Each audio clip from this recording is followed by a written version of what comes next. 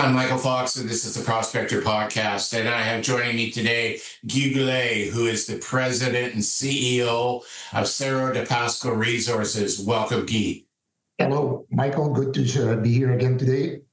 Yes, it's good to uh, to hear you as well. You guys have been very busy, and there's lots of uh, things for us to talk about. But for those who aren't uh, familiar with Cerro de Pasco Resources, let's give them a quick overview of the company and what you're doing. Michael, just to recap, what we own, Cerro de Pasco Resource shareholders, we own the mineral rights on the stockpiles and the tailings of what has been extracted from the Cerro de Pasco mine from 1906 until 1992. Let's recall that project was financed at the time by Mr. J.P. Morgan himself. He invested at the time tens of millions of dollars into that project back in 1906, beginning of the 20th century. They still call this investment the greatest investment of the 20th century in Peru. So at the time, they created uh, Cerro de Pasco Copper Corporation. They listed the company few few years after on the New York Stock Exchange. So, so as I just mentioned to you, we own the mineral rights on the stockpiles and the tailings, which represent something like north of 200 million tons. And uh, we we evaluate this is the largest above ground mineral resource uh, on the planet. So uh, we did intense due diligence in the past uh, on what was processed between 1906 when Mr. J.P. Morgan made the investment until 1992 when they stopped sending material in these tailings. And just in that in that these tailings, I'm not including the stockpiles here. We estimate if you put the copper, the lead, the zinc, and the gold into a silver equivalent. We estimate at 423 million ounces of silver equivalent the resource there. So um, so uh, we we drilled that lately. Uh, we had a supreme resolution uh, signed by the government of Peru, and we drilled. We performed 40 holes on these tailings, and um, Michael, after those 40 holes, we are exactly where we expected to be, except we're a little bit low on copper. But we will recover on copper on the second phase of drilling, which is outcoming. Yes, wonderful. It's uh, it's exciting that all this is above ground because it's low cost. You have to dig it up and bring it up. It's it's already there. It's already sitting there. And it's good to see that the drill that you've done has reconfirmed that what you thought is there is there. But uh, it, it's not a surprise that this is particularly lucrative. Um, the old mining processes going back to the early 1900s aren't nearly as good as our processes today. And as a result, there was a lot of mineral that got left over in a lot of these old tailings. And um, it's uh, modern technology is going to allow us to extract those minerals out and uh, and do it quite profitably. Yeah. Well, the recovery at the time from our due diligence, we evaluate they were recovering 60% of the metals. Okay. Why is that? You got it. Beginning of the 20th century, the reagents were not so good. We read in the reports the grinding was not appropriate. But more than that, what we read, you go back in time, it was the largest mine in the world. They were extracting from that pit every day 20,000 tons. They were, when you do flotation, you rapidly recover 60% of the metals in the first 24 hours. So go back in time. If you keep the flotation going for 72 hours, you will end up recovering up to 85, 87% of the metals. But as I mentioned to you, if you go back in time, every day there was 20,000 ton beside those two flotation facilities, of which you can recover 60% rapidly. Why should they have wait an extra 48 hours to recover an extra 25%? So they were throwing that rich material away. This is why the Quiulacocha tailings is the richest tailings on the planet. Yeah. Now you drop 40 holes into the tailings. How much of this tailing space has actually now been drilled to confirm the resource that you thought was there that is fact there, and how much how much more drilling on these tailings needs to be done? So uh, we covered some 60% of the, the ground. We're going to add an extra 80 holes. Okay, we're waiting for a supreme decree, which is imminent right now. We're going to add uh, uh, 80 more holes to cover the entirety of the, surface of the these tailings. So we should have results by the end of the year. But beside that, okay, let's recall those first 40 holes were so steady, like from the top to the bottom. There's no gap. It's in between 1.5 to 2.5 ounce per ton silver, and it's an average of 4.3 ounce per ton silver equivalent. None of these all has a gap of one meter, like from the, the top to the bottom. It's steady, steady, steady. So we know what will be the results of the second phase. So because of that, we have started the feasibility study. So we're doing mineralogy, we're doing a lot of metallurgical tests, we're doing a impact environmental study, we're doing we're going towards a feasibility study. This is going to be a mine. Yes, it will be, and uh, it'll be a mine quite rapidly in uh, comparison to uh, a lot of other discoveries that are out there. Not that this is a discovery, but it's it's amazing how rapidly this can move forward and um, all at a very low capex because it's all sitting on the surface, which is yeah. which yeah, well, is part of the brilliance of all this. You you mentioned it like uh, there's no mining cost there. In the mining business, you know what's the problem? It's mining. Right here, it's on surface. Count for one dollar US per ton mining. If you do an open pit or even underground mine, can cost you up to $200 US per ton. So here in this project, count $1 per ton.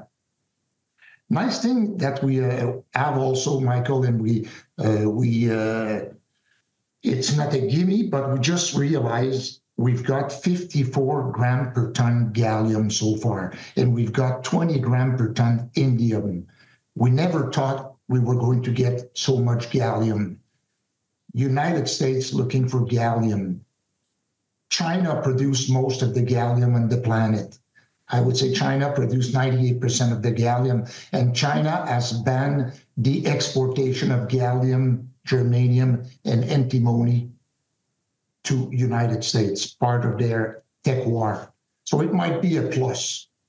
So we have, uh, well, you know, we've got Eric Sprott that have really backed us in tree financing, and uh, uh, we've got those warrants that have been exercised. So we've got we've got like seventeen million dollar cash right now. We can go straight to the end of that feasibility study, but the metallurgy will be so important.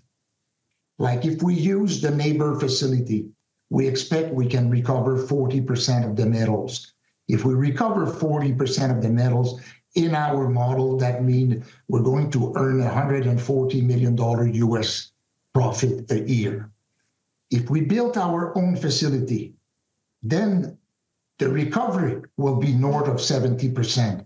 Let's recall all the flotation facilities that have built, been built in Peru after 2012 recover north of 70%.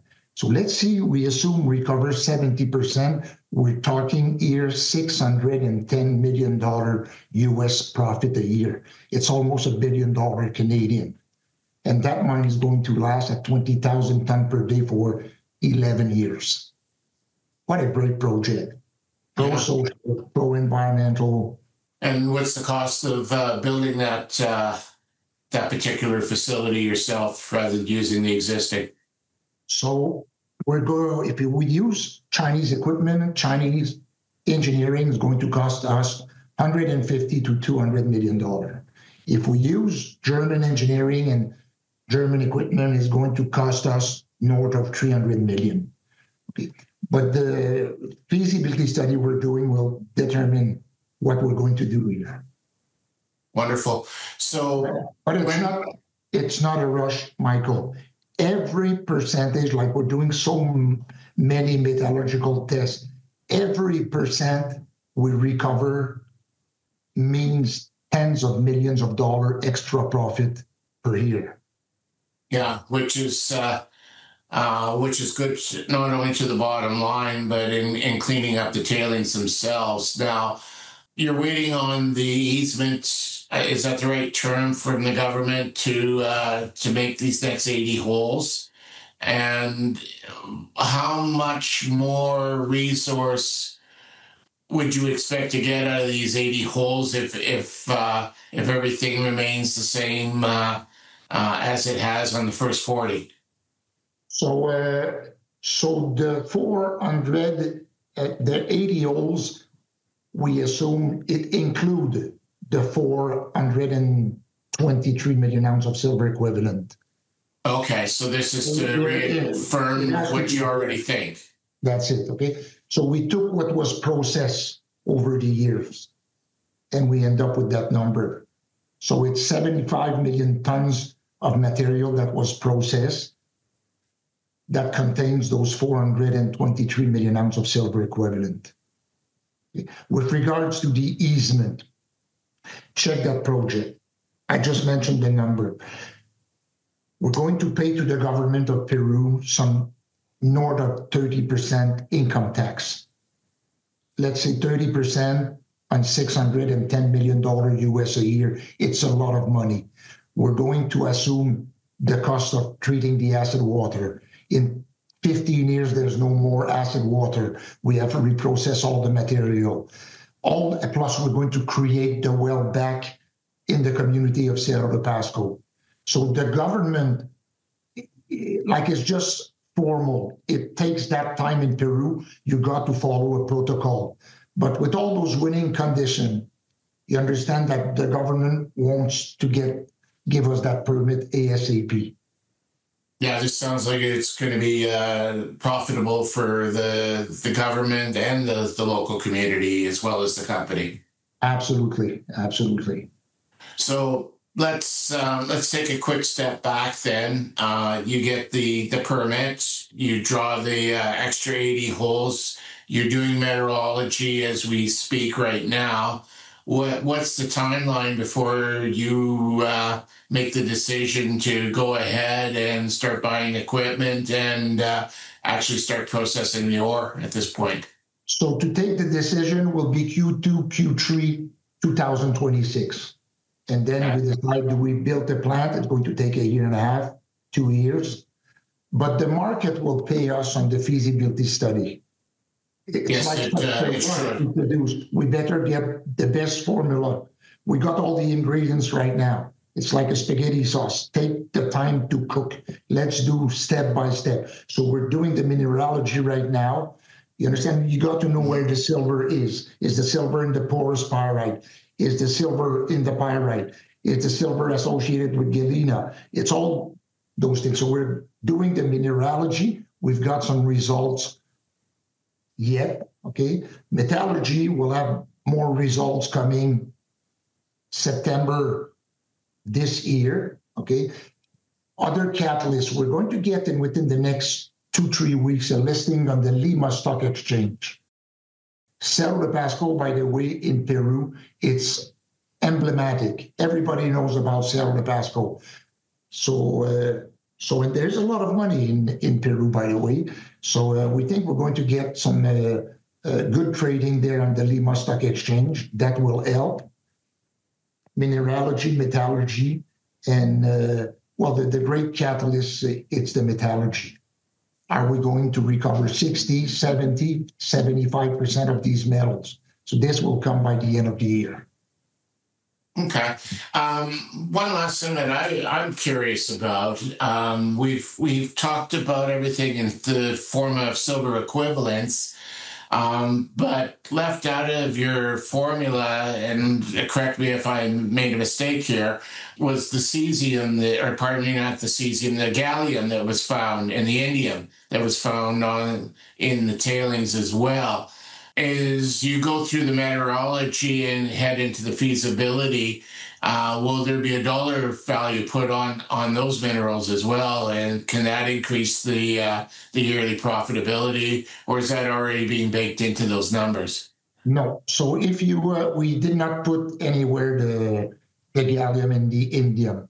So from our model, with like a very conservative price of metals, we've got an in situ value of $169 US per ton. If you include the indium and the gallium, then you go just a little north of $200 US per ton.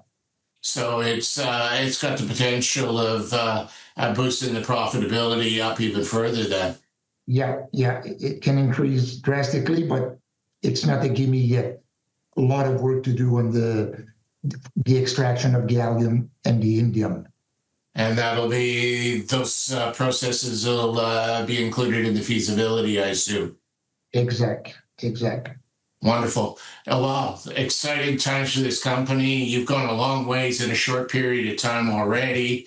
Um, looking forward to uh, to seeing the, the results of the remaining drill holes and the mineralogy uh, coming this fall the sky's the limit. I think on this one. This one's uh, this one's a, a big time winner for everybody from the company all the way up to the states. So, um, looking forward to uh, talking further about this. And if people want to uh, follow the uh, Cerro de Pasco Resources story, how best do they do it, Guy? Well, they go on our website, and that's the best way to find uh, to follow us here. Wonderful. I will include the website at the uh, bottom of the uh, description of uh, this podcast uh, on our channels, and uh, I uh, I recommend everybody take a good hard look at this one. this one's got a lot of legs, folks.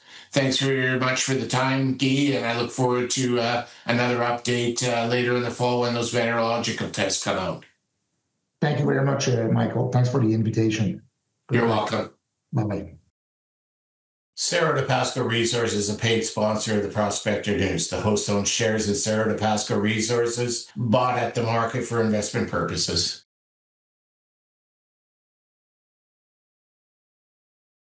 The Prospector News podcast is for educational purposes only.